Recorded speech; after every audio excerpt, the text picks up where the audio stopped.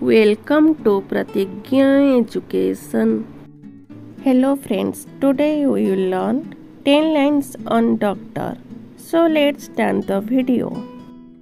The doctor plays a very important role in human life.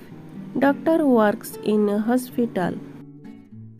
He treats sick people and saves lives. He gives medicines and injections.